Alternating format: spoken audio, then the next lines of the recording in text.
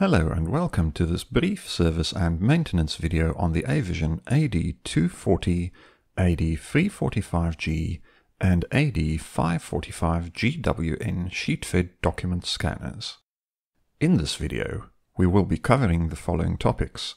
Preventative maintenance and cleaning, consumable replacement, and diagnosis of common failure modes and their resolution. Preventative maintenance and cleaning. Regular cleaning of the scanner will ensure a longer service life of both the scanner and consumables, as well as maintaining good image quality. Dust can be brushed out, including under the ADF and pickup roller cover, with a small soft bristle brush. A vacuum cleaner can also be used. Use only on the vacuum setting and do not use compressed air to blow out the unit. Glass can be cleaned with isopropyl alcohol and a microfiber cloth. This is usually necessary when thin vertical lines appear on the scanned images or when there is visible residue on the glass. Do not clean the inside of the unit with any harsh chemicals. This will void the warranty. A special note on the AD240. The AD240 sheet-fed scanner's imaging units consist of a CCD, lens, and mirrors, unlike the AD345G and AD545GWN, which use CIS technology. If lines appear on images from this model scanner, or the output is dull or has a blue color cast, it is recommended that the authorized distributor be contacted for cleaning of the optics. Consumable Replacement Part 1 Replacement Procedure For the AD240, AD345G and AD545GWN, there are three main rollers in the scanner. These are the ADF roller and pickup roller underneath the roller cover on the lower unit of the scanner, as well as the grey reverse roller on the upper unit of the scanner.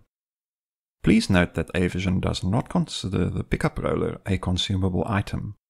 This roller can be replaced if deemed necessary following a visual inspection. To replace the ADF roller, open the roller cover.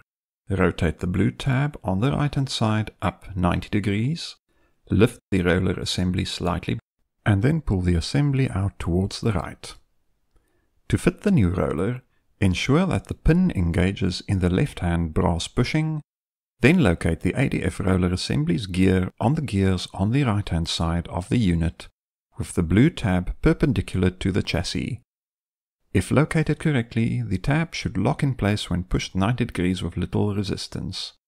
Please also ensure that the belt in the center of the roller assembly is parallel with the direction of travel of the paper. To replace the reverse roller, squeeze the two tabs on either side of the paper press, indicated by white arrows, towards each other and allow the roller cover to flip open downward. Pull the roller and torque limiter assembly out from the left tab, angle slightly, and then remove towards the left. When replacing the assembly, ensure that the new reverse roller has engaged with the small black tabs on the torque limiter indicated here. Squeeze the two parts together slightly while locating the beveled end of the reverse roller assembly in the plastic holder. If the reverse roller has not engaged with the small black tabs, the roller will rotate freely and cause multi-feeds. Part 2 Post-consumable replacement When consumables have been replaced, you need to reset the page counts for the consumables in the Avision Capture Tool software. To access this application, open the Start menu on your computer and browse to Avision Model Number Scanner. In this case, the AD 345G. A dialog box will open with a list of all installed Avision scanner models. Please ensure that the correct model is selected, then click OK. In the Avision Capture Tool application, click on the Setup button in the top left corner, then navigate to the Information tab in the window that opens. Scroll down to find the scanner statistics. For the AD240, only the counts for the ADF roller and reverse roller, here labeled as ADF pad, can be reset. For the AD345G and AD545GWN, all three roller counts can be reset individually as demonstrated here. Common error codes and failure modes and their resolution. With the AD240 sheet sheetfed scanner, Avision uses an E symbol and a one or two digit code to indicate an error state. Alternate flashing of capital E and the digits of the error.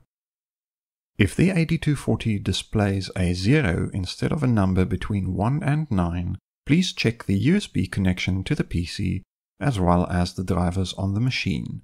A 0 indicates that the scanner cannot successfully communicate with the computer. On the AD345G and AD545GWN, this has been changed to pictograms of the specific error, or in certain error states, a spanner and a 4-digit code, mostly for errors equivalent to E7 and up. Transport lock, or E3 error, also known as home sensor error. This error is only applicable to the AVA6 Plus and IDA6 flatbed models and will be triggered in conjunction with a noise on startup. Please turn the scanner upside down and push the blue lock switch to the unlocked position. Consistent paper jam E4 errors. This is caused by dust or debris on the infrared paper skew sensors, which is more common on the AD240 with the exposed sensors. Dust is still able to get to the sensors in the AD345G and AD545GWN, but this is way less likely to happen due to the revised design.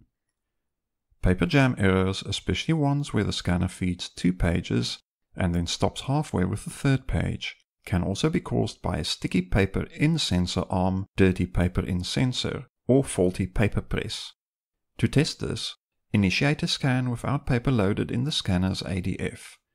If the sensor is working correctly, the scanner will indicate that no paper has been loaded in the ADF. Conversely, if the sensor is malfunctioning or the paper in arm is stuck, the scanner will start scanning without any paper present. Multifeed or E5 errors. This is way less common than paper jam errors, but can occur if two pages have been stuck together, for example a sticky note on an A4 page. If the machine is exhibiting consistent multi-feeds, please check the condition of the reverse roller and that the paper press and reverse roller cover is clipped in securely. For the AD545GWN, if you encounter consistent multi-feeds, please also ensure that the ID book mode has been turned off with the dedicated hardware button indicated here. Cover Open Error, or E6. This is the cover open error code. Please ensure that the upper half or cover of the scanner has been closed securely after opening the unit for servicing or to clear a paper jam.